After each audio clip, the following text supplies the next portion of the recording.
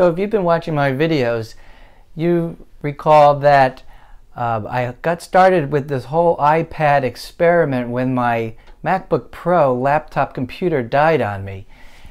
And in case you're wondering whatever happened to it, um, what I ended up doing is I turned my MacBook Pro into a Chromebook. You might be asking me, well, why did I do that? Well, first of all, because my laptop uh, was very old. I think it was about five years old, and it was starting to show its age with uh, modern Mac OS, and things were um, getting really slow. And so when the SD drive that I had put in there crashed, I put the original hard drive back into the computer, and I used this program called CloudReady. There's the logo up on the screen.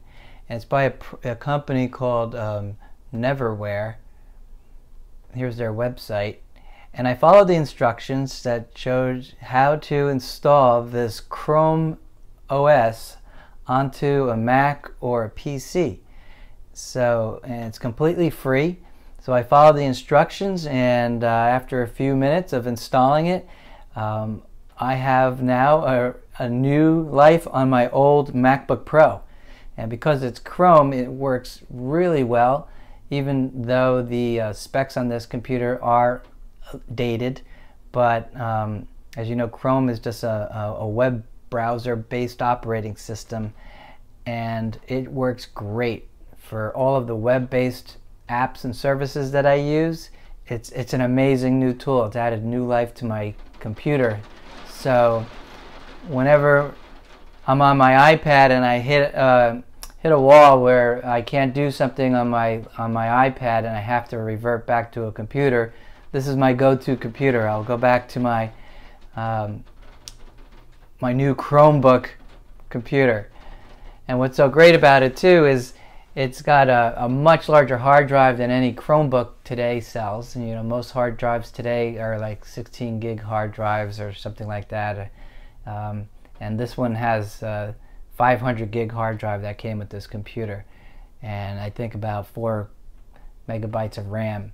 So it can handle multiple tabs and it's speedy and and I just love it. I, I have a new appreciation to Chromebooks. I've never bought one and I've never used one before but I tell you I like this. And in fact I I don't know if I'd ever uh, need to buy another um, Apple computer uh, because between the iPad and this Chromebook, I could most likely do everything I need, and uh, I don't miss I don't miss using a Mac at all.